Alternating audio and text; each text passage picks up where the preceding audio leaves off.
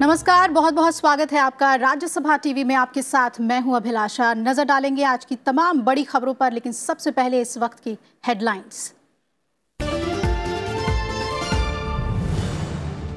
पश्चिम बंगाल में सीबीआई को लेकर विवाद पर संसद के दोनों सदनों में हुआ गतिरोध। केंद्रीय गृह मंत्री राजनाथ सिंह ने लोकसभा में दिया बयान। राज्य सरकारों से की जाँच एजेंसियों के काम में बाधा नहीं डालने की अपील। पश्चिम बंगाल के राज्यपाल ने केंद्रीय गृह मंत्रालय को सौंपी रिपोर्ट।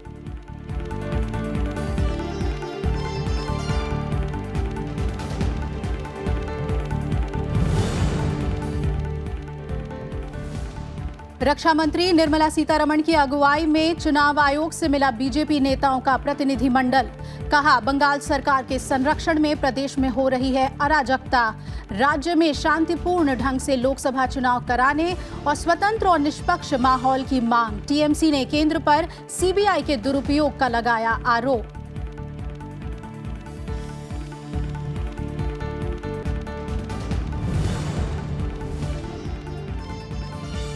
चिटफंड घोटाले की जाँच में पश्चिम बंगाल के पुलिस अधिकारियों के बाधा डालने को लेकर सुप्रीम कोर्ट पहुँची CBI. Kolkata police commissioner Rajiv Kumar पर लगाया सबूतों को नष्ट करने का आरोप। कोर्ट ने जाँच एजेंसी से मांगे सबूत। कल होगी मामले की सुनवाई।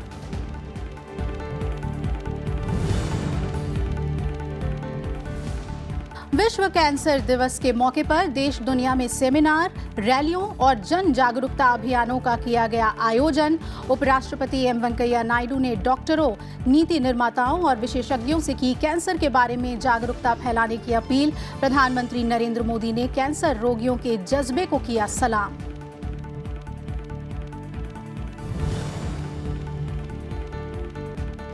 और प्रयागराज में दिव्य कुंभ के दूसरे शाही स्नान पर भारी तादाद में उमड़े श्रद्धालु।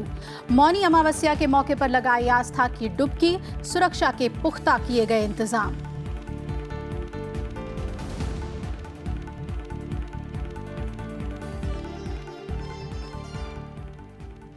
और खबरें अब विस्तार से देख लेते हैं। पश्चिम बंगाल सरकार और सीबीआई के बीच विवाद को लेकर संसद में विपक्ष के अवरोध के बीच केंद्रीय गृह मंत्री राजनाथ सिंह ने बयान दिया। उन्होंने घटना की सिलसिलेवार जानकारी देते हुए कानून लागू करने वाली एजेंसियों के बीच टकराव को दुर्भाग्यपूर्ण करार दिया और बंगाल सरकार से इस मुद्दे पर संविधान के मुताबिक काम करने की सलाह दी। इस बीच मामले में पश्चिम बंगाल के राज्यपाल केशरीनाथ त्रिपाठी ने अपनी रिपोर्ट केंद्र सरकार को भेज दी है। वहीं इस पर बीजेपी और विपक्षी दलों के बीच बयानबाजी जारी है। संसद के दोनों सदनों की कार्यवाही में पश्चिम बंगाल में सीबीआई की कार्रवाई के घटनाक्रम को लेकर गतिरोध हुआ। कई बार अवरोध के चलते दोनों सदनों की कार्यवाही दिन भर के लिए स्थगित करनी पड़ी। राज्यसभा की बैठक शुरू होने के कुछ ही मिनट बाद टीएमसी की अगुवाई में विपक्षी दलों ने रविवार रात कोलकाता के पुलिस कमिश्नर के खिलाफ सीबीआई की कार्रवाई का विरोध किया। विपक्षी दलों ने केंद्र सरकार पर राजनीतिक कारणों से सीबीआई के दुरुपयोग का आरोप लगाया। Mister Modi cannot fight the Trinamool politically. No that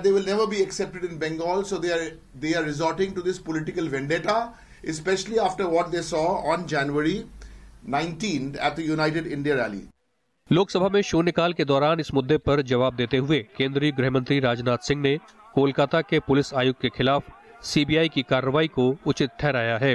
उन्होंने कहा कि पुलिस आयुक्त शारदा चिटफंड घोटाले मामले में सहयोग नहीं कर रहे थे और कई बार उन्हें भेजे गए समन का जवाब नहीं दिया गया।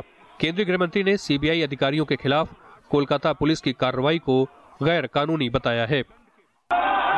देश की लॉ इन्फोर्समेंट एजेंसी के भी ऐसा टकराव न केवल दुर्भाग्यपूर्ण है अपितु यह देश के फेडरल और यह पॉलिटिकल सिस्टम के लिए एक गंभीर खतरा भी है। संविधान में पुलिस और पब्लिक ऑर्डर, यह राज्य के सब्जेक्ट थे और हम केंद्र सरकार में इस संबंध में राज्यों के अधिकार का सम्मान भी करते हैं। तथा संविधान ने केंद्र सरकार को यह ज़िम्मेदारी सौंपी हुई है कि वह इस बात को सुनिश्चित करे कि देश का शासन संवैधानिक व्यवस्थाओं के अनुसार चलाया जाए। मुझे उम्मीद है कि हमारी पश्चिमी बंगाल की सरकार भी इन सारी लॉ इन्फोर्समेंट एजेंसी को सुचारू रूप से काम करने के लिए जो आवश्यक माहौल चाहिए, वह उपलब्ध कराने में वह पूरी तरह से सहयोग करेंगे। केंद्रीय गृह मंत्री ने इस मामले में पश्चिम बंगाल के राज्यपाल से बात कर इस मुद्दे पर विस्तृत रिपोर्ट मांगी है। वहीं बीजेपी ने कोलकाता में मुख्यमंत्री ममता बनर्जी के धरने को असंवैधानिक बताया है। बीजेपी का कहना है कि ममता बनर्जी को भ्रष्टाचार में शामिल लोगों का समर्थन करने की बजाय सीबीआई को जाँच करने में सहयोग देना चाहिए। सिर्फ़ सीबीआई पूछताछ करने गई है और एक पुलिस कमिश्नर के समर्थन में उसके साथ धरना पर बैठी हुई हैं। जो ममता जी दो दो एमपीज की गिरफ्तारी पर खामोश रहती हैं, वो एक पुलिस कमिश्नर 89 बैच के आईपीएस अफसर की गिरफ्तारी पर इतनी व्याकुल क्यों हो गई? वो यही है कि लगता है राजदार बहुत जानता है। और राजदार को बचाना ज़रूरी है। कोलकाता में सीबीआई अधिकारियों के एक दल को रविवार को उस समय हिरासत में ले लिया गया, जब वे शारदा चिट फंड मामले की जाँच के सिलसिले में कोलकाता पुलिस आयुक्त राजीव कुमार के निवास पर पहुँचे थे। इसके बाद मुख्यमंत्री ममता बनर्जी सीबीआई की कार्रवाई को लेकर धरने पर बैठ गई गौरतलब है कि शारदा चिटफंड घोटाले में लाखों गरीबों को करोड़ों रुपए का चूना लगाया गया है। टीएमसी के कई नेता इस मामले में आरोपी हैं और सीबीआई सुप्रीम कोर्ट के निर्देश पर इसकी जाँच कर रही है। रविंद्र सिंह शोराण के साथ ब्यूरो रिपोर्ट, राज्यसभा टीवी। तो कोलकाता में चल रहे पश्चिम बंगाल की मुख्यमंत्री ममता बनर्जी के धरने को लेकर बीजेपी के प्रतिनिधिमंडल ने सोमवार को चुनाव आयोग से शिकायत की। बीजेपी ने आरोप लगाया कि पश्चिम बंगाल सरकार के संरक्षण में राज्य में अराजकता का माहौल है। चुनाव आयोग अराजकता की जाँच करे। बीजेपी ने चुनाव आयोग से पश्चिम बंगाल में स्वतंत्र, निष्पक्ष और भय मुक्त माहौल में लोकसभा चुनाव कराने की मांग की है। इस प्रतिनिधिमंडल में केंद्रीय रक्षा मंत्री निर्मला सीतारमण, केंद्रीय मंत्री मुख्तार अब्बास नकवी, एस एस अहलुवालिया और भाजपा नेता कैलाश विजयवर्गीय समेत कई प्रमुख नेता शामिल थे। हमने चुनाव आयोग से मांग की है कि स्वतंत्र, निष्पक्ष और भयमुक्त माहौल में पश्चिम बंगाल में लोकसभा के चुनाव हों। इसके लिए जो वर्तमान हालात और परिस्थितियाँ हैं, उसका चुनाव आयोग आकलन करे और जो अधिकारी तृणमूल कांग्रेस के कार्यकर्ता की तरह भूमिका निभा रहे हैं। तृणमूल कांग्रेस के हिंसक घटनाओं के हिस्सेदार भागीदार बने हुए हैं। उनको भी चुनाव के ड्यूटी से मुक्त रखा जाए और साथ ही साथ जो सेंट्रल फोर्सेज हैं, उनका डिप्लॉयमेंट भयमुक्त और स्वतंत्र माहौल में चुनाव के लिए ज़रूरी है। और इधर ईवीएम मामले को लेकर विपक्षी पार्टियों के नेताओं ने चुनाव आयोग से आज शाम मुलाकात की। कांग्रेस, एनसीपी, समाजवादी पार्टी समेत कई दलों ने चुनाव आयोग से मांग की है कि लोकसभा चुनाव में वीवीपैट से निकलने वाली 50 फ़ीसदी पर्चियों का मिलान ईवीएम की गिनती से किए जाए। तो हमने मांग की है कि चाहे लोकसभा इलेक्शन हो या विधानसभाओं का इलेक्शन हो तो इसमें 50 परसेंट जो वोट है ऑफ़ 100 परसेंट, वो ईवीएम से ईवीएम से में गिनना चाहिए और 50 परसेंट वोट गिनना चाहिए। जो पेपर ट्रायल है, उस पेपर ट्रायल को गिनना चाहिए, उसको डिस्ट्रॉय नहीं करना चाहिए। आम जनता को ट्रैफ़िक नियमों के बारे में और जागरूक करने के लिए आज से सड़क सुरक्षा सप्ताह की शुरुआत हुई। इस मौके पर दिल्ली से एक मोटर रैली की शुरुआत हुई है जो सड़क नियमों को लेकर लोगों में जागरूकता फैलाने का काम करेगी। साथ ही महात्मा गांधी की 150वीं जयंती वर्ष के मौके पर बापू के विचारों को लोगों के बीच पहुंचाएगी। मैं सड़क एवं यातायात नियमों का मैं सड़क एवं यातायात नियमों का हमेशा पालन करूँगा। हमेशा पालन करूँगा। मैं अपने एवं सड़क पर चलने वाले मैं अपने एवं सड़क पर चलने वाले। सभी साथियों की सुरक्षा का ध्यान रखूँगा। सड़क नियमों का पालन करने की शपथ के साथ सोमवार को राजघाट के गांधी दर्शन से सड़क सुरक्षा जागरूकता कार रैली की शुरुआत हुई। ये दिल्ली से 7,250 किलोमीटर का सफ़र पूरा कर 24 फरवरी को म्यांमार पहुंचेगी। विदेश मंत्री सुषमा स्वराज और परिवहन मंत्री नितिन गडकरी ने रैली को झंडी दिखाकर रवाना किया। रैली का मकसद सड़क सुरक्षा के साथ राष्ट्रपिता महात्मा गांधी के विचार को लोगों के बीच पहुंचाना है। शुरुआत के लिए जो स्थल ढूंढा, वो वही स्थान है जहाँ हमने बापू को अश्रुपूर्ण नेत्रों से अंतिम विदाई दी थी। यहाँ से हम रैली प्रारंभ कर रहे हैं। और उसके बाद जो स्थान चुने वो सारे के सारे ऐसे हैं, जहाँ से गांधी जी का कोई ना कोई संबंध रहा था। और उसे केवल देश तक सीमित नहीं रखा। वो बांग्लादेश और म्यांमार हमारे दो पड़ोसी देशों तक उसको ले जा रहे हैं और वहाँ भी वो स्थान चुने हैं, जो स्थान ढाका में या यांगोन में महात्मा गांधी जी के साथ संबंधित थे। ये रैली साबरमती, पोरबंदर, दांडी यरवदा, जबलपुर, लखनऊ, गोरखपुर शांति निकेतन कोलकाता से होते हुए बांग्लादेश की राजधानी ढाका से गुजरेगी। देश में अंदाजन पाँच लाख एक्सीडेंट होते हैं और डेढ़ लाख मौतें होती है। 2016 में हमने सब प्रयास करने के बाद 4.1 परसेंट इसमें कमी आई है। 2017 में 4.75 परसेंट कमी आई है।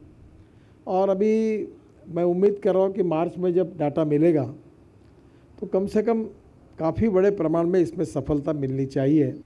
सरकारी आंकड़ों के मुताबिक देश में हर साल पाँच लाख सड़क हादसे होते हैं और सालाना डेढ़ लाख लोग अपनी जान गंवाते हैं। सड़क सुरक्षा को लेकर जागरूकता से सड़क हादसों में कमी लाई जा सकती है। अनु दीवान, राज्यसभा टीवी। और अब बात करते हैं नेशनल हेराल्ड मामले से जुड़ी हुई। नेशनल हेराल्ड मामले में शिकायतकर्ता सुब्रमण्यम स्वामी से सोमवार को दिल्ली के पटियाला हाउस कोर्ट में जिरह शुरू हुई। कांग्रेस नेताओं की तरफ़ से पेश वकील स्वामी से जिरह करने लगे और स्वामी ने शिकायत में यूपीए अध्यक्ष सोनिया गांधी और कांग्रेस अध्यक्ष राहुल गांधी, मोतीलाल वोरा, ऑस्कर फर्नांडिस, सैम पित्रोदा और यंग इंडिया लिमिटेड पर धोखाधड़ी और धन की हेराफेरी करने का आरोप उन्होंने लगाया। दूसरी तरफ़, इस मामले में एसोसिएटेड जर्नल्स लिमिटेड ने दिल्ली हाई कोर्ट की सिंगल बेंच के आदेश को डबल बेंच में चुनौती दी है। एसोसिएटेड जर्नल्स लिमिटेड की याचिका पर अब 23 फरवरी को सुनवाई होगी।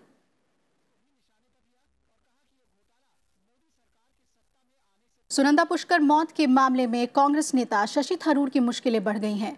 अतिरिक्त मुख्य मेट्रोपॉलिटन मजिस्ट्रेट ने मामले को अतिरिक्त सत्र न्यायाधीश की अदालत के पास भेज दिया, क्योंकि भारतीय दंड संहिता की धारा 306 यानी खुदकुशी के लिए उकसाने के तहत अपराध के मुकदमे की सुनवाई सत्र न्यायाधीश द्वारा ही की जाती है।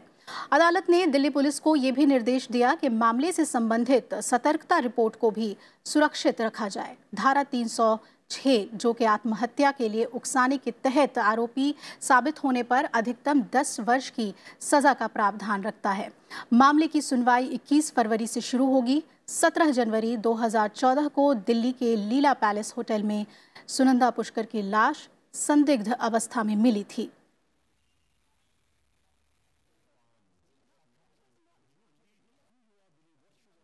ऋषि कुमार शुक्ला ने नए सीबीआई डायरेक्टर के रूप में कार्यभार ग्रहण कर लिया है। प्रधानमंत्री की अध्यक्षता वाली चयन समिति ने शनिवार को ऋषि कुमार शुक्ला का सीबीआई के नए निदेशक के रूप में चयन किया। ऋषि कुमार शुक्ला की नियुक्ति दो साल के लिए की गई है। इससे पहले वो मध्य प्रदेश के डीजीपी समेत अन्य पदों पर भी रह चुके हैं। ऋषि कुमार शुक्ला उन्नीस सौ तिरासी बैच के आईपीएस अधिकारी हैं। ऋषि कुमार शुक्ला की शुरुआती पोस्टिंग सीएसपी रायपुर के तौर पर हुई। वो दमोह, शिवपुरी और मंदसौर ज़िले के एसपी रहे हैं और उन्होंने 2009 से 2012 तक मध्य प्रदेश के एडीजी इंटेलिजेंस की ज़िम्मेदारी भी संभाली है।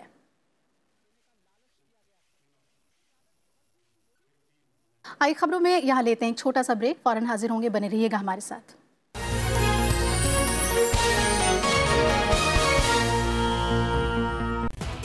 Watch India's World with me, Frank Rausen Pereira, at 10 p.m. on Rajya Sabha television.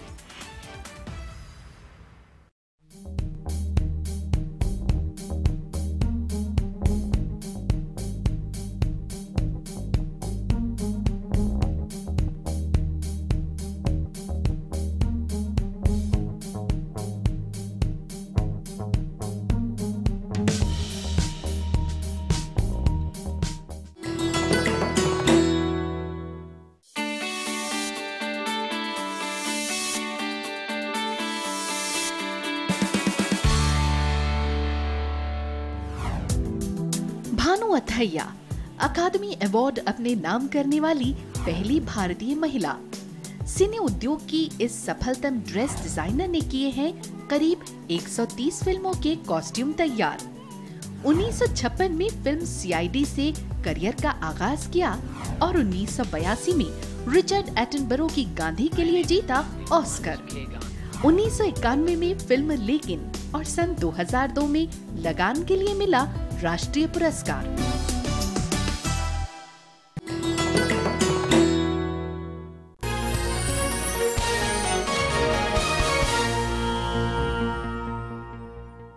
Break के बाद स्वागत है आपका। मिजोरम में हाल में चुनकर आए विधायक इन दिनों संसद भवन में संसदीय और विधायी कामकाज का प्रशिक्षण ले रहे हैं। ये प्रशिक्षण संसदीय अध्ययन और प्रशिक्षण विभाग यानी बीपीएसटी की ओर से हो रहा है। इस दौरान इन सदस्यों को विधायिका के कानून बनाने की शक्तियों से लेकर शासन और प्रशासन में इसकी अहमियत के बारे में प्रशिक्षण दिया गया। मिजोरम के खेल मंत्री ने भी इसे काफ़ी ज्ञानवर्धक बताया। ये प्रशिक्षण 6 फरवरी तक चलेगा। Was really beneficial for all the new MLAs like us. And the, uh, the speech of Madame Irani was also very mind-blowing and also, uh, you see, it's really uh, influenced all the new members of the uh, Legislative Assembly. And uh, more lectures and more trainings will follow. I am sure that the training program will बच्चों में वैज्ञानिक सोच, रचनात्मकता और शोध को बढ़ावा देने के लिए दिल्ली में दो दिन के नॉर्दर्न इंडिया साइंस फेयर की आज से शुरुआत हुई। इसमें 45 स्कूलों के छात्रों ने अपने साइंस मॉडल का प्रदर्शन किया। दो दिन के नॉर्दर्न इंडिया साइंस फेयर की शुरुआत सोमवार को दिल्ली में हुई। इस मौके पर मुख्य अतिथि प्रोफेसर नागेश्वर राव ने छात्रों में तार्किक और वैज्ञानिक सोच पैदा करने पर ज़ोर दिया। प्रयोगों में से कभी आपको एक नया प्रयोग अच्छा प्रयोग मिलेगा, जो समाज के लिए हितकारी होगा, देश के लिए हितकारी होगा, हम सब के लिए कल्याणकारी होगा। मस्तिष्क के उस हिस्से का प्रयोग करिए जो हमारे पास खुद है। इसीलिए कहते हैं टोटल ब्रेन टोटल ब्रेन प्रयोग करिए। Left hand side of brain नहीं, केवल लेफ़्ट और राइट मिला करके। ध्यान से सुनिए इमेजिनेशन को उपयोग करिए और अपने वैज्ञानिक सोच को आगे बढ़ाइए। विज्ञान मेले में उत्तर भारत के 45 स्कूलों के छात्रों ने हिस्सा लिया है और अपने प्रोजेक्ट के लिए अपने अनुसंधानों का प्रदर्शन किया। छात्र इसमें व्यक्तिगत और टीम कैटेगरी में हिस्सा ले रहे हैं। मेरे प्रोजेक्ट में यूनिकनेस ये है कि ई टॉयलेट्स तो जैसे गवर्नमेंट ने बहुत प्रोवाइड किया है, लेकिन सिक्योरिटी सिस्टम जो मैंने इसमें प्रोवाइड किया है, वो आपको शायद देखने में नहीं मिलेगा। क्योंकि रैन इंटरनेशनल स्कूल में एक प्रद्युमन नाम के, ठाकुर प्रद्युमन नाम के बच्चे के साथ सेकेंड क्लास में मर्डर केस हुआ था सर वो उसी के उसी के स्कूल से एक बच्चे ने किया था, वो पेरेंट्स टीचर मीटिंग रोकने के लिए। तो सर ऐसे बहुत सारे केसेस आए सेक्सुअली असल्ट भी हुए गर्ल्स के साथ तो इस सबको रोकने के लिए मैंने ई टॉयलेट में अपना सिक्योरिटी सिस्टम यूनिक लगाया है। उससे क्या होगा? वॉइस कैच होगी और स्पेशली मैंने स्कूल्स के लिए बनाया। As I am a school student और मैंने देखते देखते ये पब्लिक टॉयलेट्स के लिए भी बनाया है। मैंने एक हेलमेट बनाया है स्मार्ट हेलमेट जिसमें मैंने नॉर्मल हेलमेट में और दो फीचर्स ऐड किए हैं। और पहला फीचर उसमें यह है कि जब कभी भी हमारी स्पीड ज़्यादा होगी तो उस टाइम अलार्म करेगा। फॉर एग्जांपल 80 से ज़्यादा होगी या कम होगी, ज़्यादा होगी तो अलार्म करेगा। और जब कभी भी मैम कोई भी एक्सीडेंट होगा तो उस टाइम में एयर बैग रिलीज़ करेगा, जो हमारे नेक हेल्थ के साथ साथ हमारे नेक रीजन को भी बचाएगा। और मैं धन्यवाद देना चाहता हूँ इस ऑर्गेनाइजेशन को जिनने हमें इनक्रेज किया है और हमें ऐसे ऐसे मौके दिए हैं नेशनल साइंस सेंटर हर साल नॉर्दर्न इंडिया साइंस फेयर का आयोजन करता है। इसका मकसद छात्रों में विज्ञान को बढ़ावा देने के साथ वैज्ञानिक सोच और शोध को आगे लाना है। अरुणा ठाकुर, राज्यसभा टीवी। दुनिया भर में 4 फरवरी को विश्व कैंसर दिवस मनाया जाता है। इस दिन का मकसद लोगों को कैंसर जैसी बीमारी की ओर जागरूक करना है। इस मौके पर उपराष्ट्रपति एम वेंकैया नायडू ने डॉक्टरों नीति निर्माताओं और विशेषज्ञों से कैंसर के बारे में बातचीत की और उनसे जागरूकता फैलाने की अपील की। प्रधानमंत्री नरेंद्र मोदी ने भी कैंसर रोगियों के जज्बे को सलाम किया है। बदलती जीवन शैली और खान पान की बदलती आदतों के कारण लाखों लोग हर साल कैंसर का शिकार हो रहे हैं। देश में दिल की बीमारी के बाद असामयिक मौत की दूसरी बड़ी वजह कैंसर बनता जा रहा है। वयस्कों बुज़ुर्गों के साथ ये बच्चों को अपनी चपेट में ले रहा है।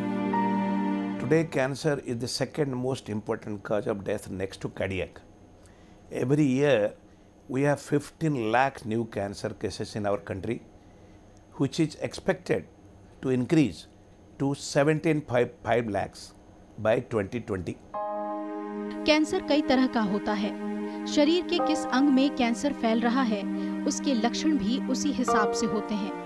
एम्स के मुताबिक 40 फ़ीसदी कैंसर सिर्फ़ तंबाकू, सिगरेट के सेवन से हो रहा है। मुँह का कैंसर, होंठ, जबड़ा, दांत, तालू, जीभ पर होता है। डॉक्टरों के मुताबिक सर्जरी, कीमोथेरेपी, रेडियोथेरेपी और फोटोडायनेमिक थेरेपी के ज़रिए इस पर काफ़ी हद तक नियंत्रण पाया जाता है। सबसे विडम्बना की बात यह है कि ये पेशेंट्स यंग होते हैं और अपने सबसे प्रोडक्टिव पीरियड ऑफ़ लाइफ में होते हैं। लेकिन इनका सार अदरवाइज़ सारे ऑर्गन्स फ़ंक्शंस ठीक हैं, लेकिन एक जो बीमारी जो उनके चेहरे पे या मुँह पे होती है, इसके कारण एक तो ये लाइफ थ्रेटनिंग भी है और काफ़ी ज़्यादा इनको ग्लानी जो फीलिंग होती है ना, इसमें इस ट्यूमर के कारण। के कैंसर के अलावा स्तन कैंसर और सर्वाइकल कैंसर भी बड़ी संख्या में महिलाओं को शिकार बना रहा है। डॉक्टर के मुताबिक स्तन और सर्वाइकल कैंसर के 20 फ़ीसदी मामले हर साल सामने आ रहे हैं। स्तन में गांठ, निप्पल के आकार, स्किन में बदलाव, स्तन का सख्त होना, बाहों के नीचे गांठ, स्तन कैंसर के संकेत हो सकते हैं। वही सर्वाइकल कैंसर के लिए डॉक्टरों की सलाह है 26 साल की उम्र तक अगर इसका वैक्सीनेशन दे दिया जाए। तो इससे बचा जा सकता है। इसकी पहचान के लिए महिलाओं को समय समय पे पैप टेस्ट की सिफारिश की जाती है। पैंक्रियाज कैंसर के इलाज में फ़िलहाल प्रभावी इलाज संभव नहीं है। ये ज़्यादातर बढ़ती उम्र में होता है। कैंसर पेन का जो पर डे का कॉस्ट आता है, जो मॉर्फिन टैबलेट्स जिसको हम main stay of cancer pain management बोलते हैं, वो पर डे का कॉस्ट थर्टी रुपीज़ है बस। So thirty rupees morphine tablet का कॉस्ट है पर डे का। प्लस उसके साथ अगर हम मॉर्फिन प्लस पैरासीटामोल या कुछ भी एडजवेंट एनाल्जेसिक्स देंगे तो मैक्सिमम जो कॉस्ट है वो हंड्रेड रुपीज़ अप्रॉक्सीमेटली आना चाहिए। It is not very expensive but still सबसे बड़ी प्रॉब्लम है, सबसे बड़ी जो डिलीमा है और पूरे वर्ल्ड का ये है कि कैंसर पेन पेशेंट को पेन और कैंसर को सिनोनिमस समझते हैं और पेन की तरफ़ कोई ध्यान ही नहीं देता। एम्स के कैंसर डिपार्टमेंट के मुताबिक देश में हर साल 15 लाख से ज़्यादा कैंसर के मामले दर्ज हो रहे हैं। लेकिन ये रफ्तार 2020 तक बढ़कर साढ़े सत्रह लाख तक पहुँचने का अनुमान है। कैंसर को लेकर जागरूकता भी इसका सबसे बड़ा बचाव है।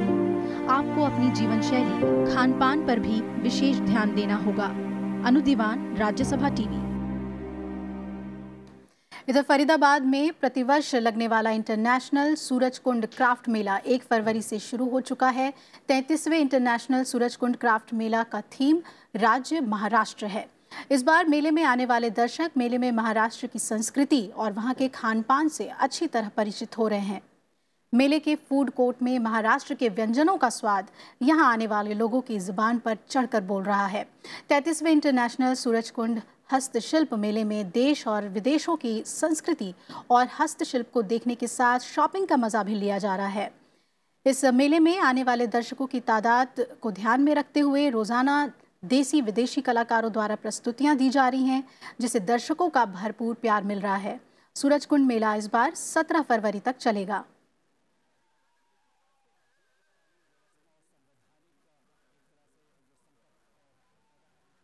और अब बात करते हैं कुंभ मेले की। प्रयागराज में कुंभ मेले में मौनी अमावस्या के मौके पर आज दूसरे और सबसे महत्वपूर्ण शाही स्नान पर श्रद्धालुओं की भारी तादाद जुटी। दूसरे शाही स्नान में सुरक्षा के लिए बीस हज़ार से ज़्यादा जवानों को तैनात किया गया।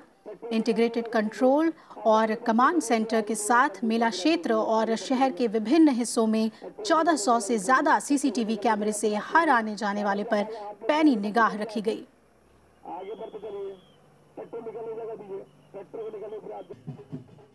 राष्ट्रपति भवन का प्रसिद्ध मुगल गार्डन आम जनता के लिए 6 फरवरी से खुलेगा।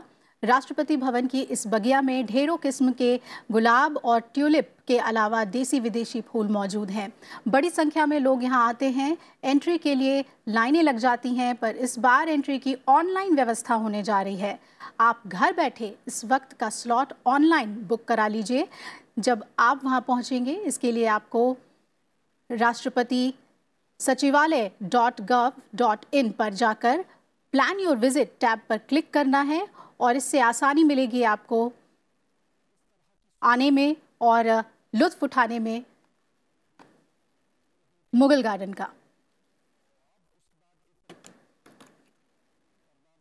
तो राज्यसभा टेलीविज़न देश का सबसे तेज़ी से आगे बढ़ने वाला छठा चैनल बन गया है।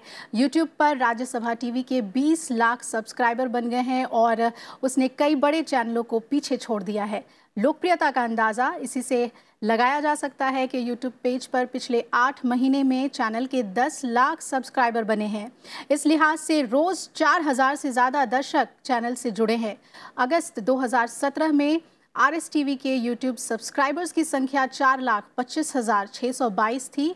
पिछले डेढ़ सालों में इसमें चार सौ सत्तर फ़ीसदी का इजाफा हुआ है। वही यूट्यूब पर चैनल के व्यूज़ में तीन सौ चौसठ फ़ीसदी का इजाफा हुआ है और ये करीब तीस करोड़ के करीब पहुँच गया है।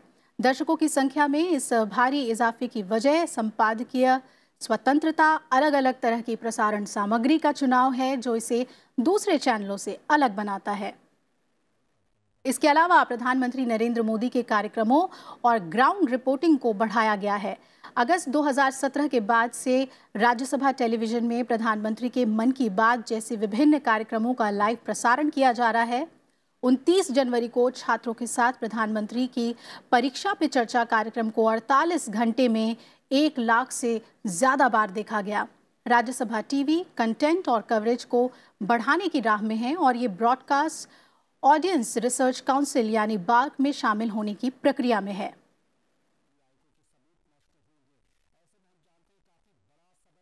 और इसी के साथ इस बुलेटिन में फ़िलहाल इतना ही। आप जुड़े रहिएगा राज्यसभा टीवी के साथ। लगातार नमस्कार।